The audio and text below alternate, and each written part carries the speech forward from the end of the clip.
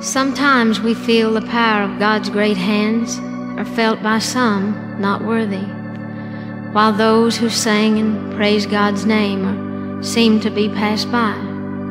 But worthy or not, God loves us all, even a little bird that couldn't fly. Why is life given and taken away too soon for some to tell? And others live for many years and walk a path to hell.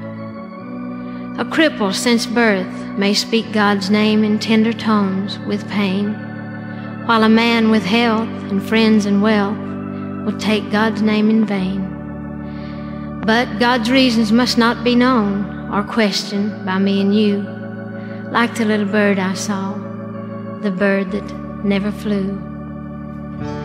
I feel close to each thing that God has made the earth, the sky, and the sea. And each creature living here belongs to Him, even you and me.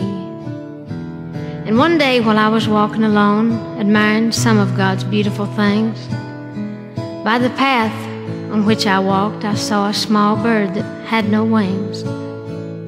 So I sat down and I held out my hand, and that little bird climbed upon.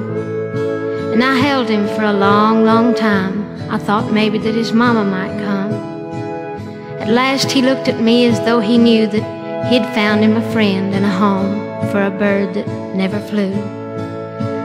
So I built him a little house on the ground like few birds I'm sure have ever known. And he seemed to be so happy there with his new friends and his new home. And for two years I fed him and I watched him as with the other birds he'd play.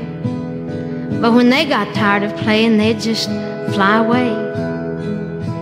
Then a look of loneliness in his eyes as he'd watched the birds fly into the blue. But then a look of understanding as though he knew why he couldn't do that too.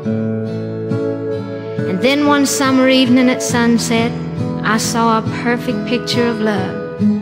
Every one of his little playmates were beautiful snow white doves. Then the ruffle of their feathers as they started into flight then I noticed that all the doves but one was white. And he looked like my bird, but he had wings of solid gold and brand new. Then I knew that it was my bird, that little bird that never flew. Until then.